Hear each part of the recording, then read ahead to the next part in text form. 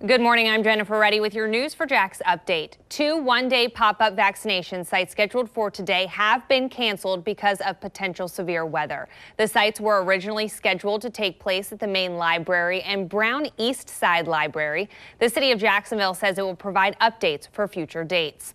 The federally supported vaccination sites in our area will open at 10 o'clock this morning because of severe weather. This includes the Gateway Mall vaccination site and the two satellite sites at the Ocean Way Community Center and the Carver Recreation Center.